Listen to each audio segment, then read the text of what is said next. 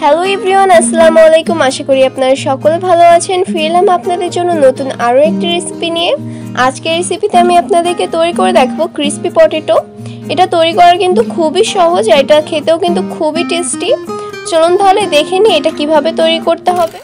Crispy potato তৈরি করার জন্য এখানে আমি মিডিয়াম সাইজের দুইটা আলু এরকম লম্বা করে কেটে নিয়ে পানি দিয়ে ভালো করে ধুয়ে এর থেকে সম্পূর্ণ পানিটা ঝরিয়ে নিয়েছি। এবার আমি একটা বোল নিয়ে নিচ্ছি আর এর মধ্যে দিয়ে দিচ্ছি এক কাপ ময়দা। দিয়ে দিচ্ছি স্বাদ মতো লবণ। ওয়ান ফোর চা চামচ গোলমরিচের গুঁড়া। দিয়ে দিচ্ছি দুই প্যাকেট ম্যাজিক স্বাদ মশলা।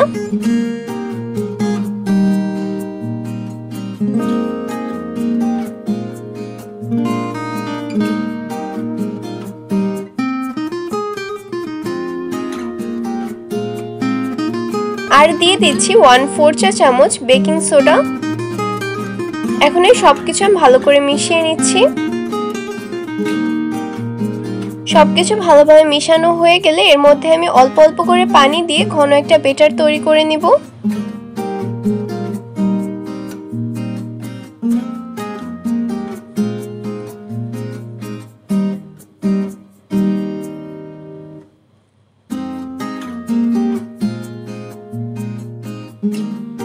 এই বেটারটা কিন্তু বেশি পাতলা করা যাবে না, এরকম ঘন রাখতে হবে। দেখতে পাচ্ছেন আমার বেটারটা কতটুকু আমি ঘন রেখেছি। এবার আমি আগে থেকে কেটে রাখা আলুটা নিয়ে এই বেটারের মধ্যে ভালো করে কোট করে নিচ্ছি।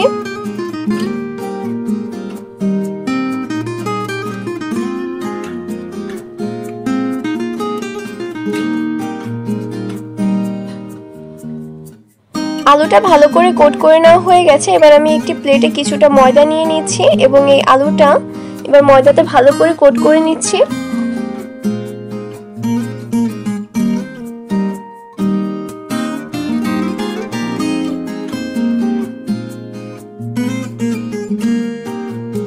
এটাকে আলতো হাতে কোট করে নিতে হবে।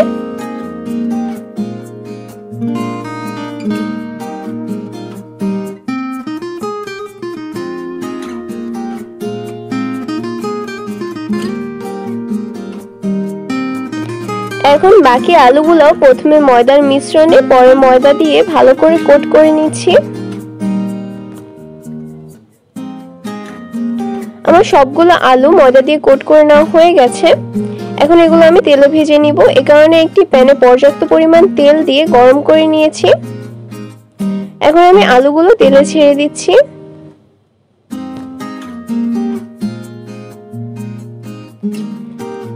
আলুগুলোকে মিডিয়াম আঁচে ভাজতে হবে।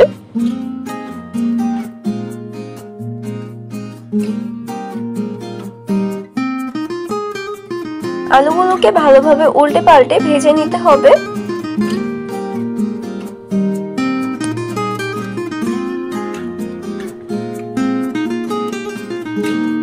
আমার আলুগুলো ভেজে নেওয়া হয়ে গেছে, এখন এগুলো আমি তেল থেকে তুলে নিচ্ছি। আর একইভাবে আমি বাকি আলুগুলো ভেজে নিচ্ছি।